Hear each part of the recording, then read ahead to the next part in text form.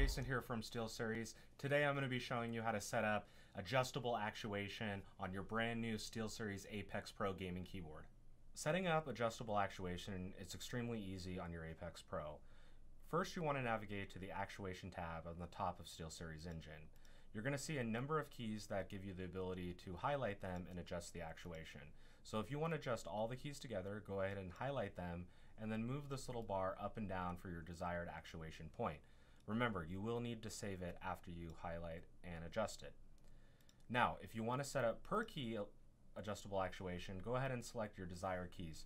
For this demo, I'm going to go ahead and select WASD, spacebar, and then F and R, my most used keys when I play Counter-Strike Go, and then I'm going to set this to the lowest actuation point for lightning fast reaction times. It's very easy and very intuitive. Within a matter of minutes, you're going to be able to customize your keyboard no matter how you play.